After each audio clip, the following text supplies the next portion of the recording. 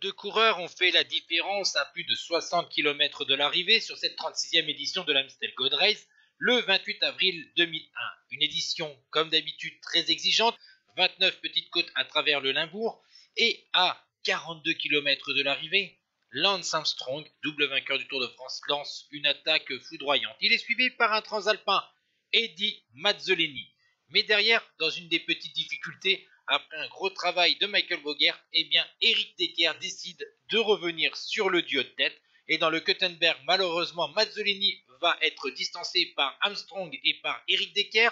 Ensuite, on va foncer sur Valkenburg pour attaquer la troisième ascension du Coberg. Et c'est là que Armstrong va tenter de se défaire d'Eric Decker. Mais le néerlandais va s'accrocher et résister à l'offensive de l'américain. Et les deux hommes vont pouvoir se jouer la victoire au sprint. Derrière, Serge Baguet est sorti du groupe de chasse pour prendre la troisième place. Après quelques mètres quasiment à l'arrêt, Eric Decker lance en costaud son sprint. Armstrong, déjà battu par Michael Bogert il y a deux saisons, échoue à nouveau, battu cette fois-ci par Eric Decker. Troisième Baguet, quatrième Sberg, cinquième Mousseau, sixième Van Petegem. Ciao tout le monde.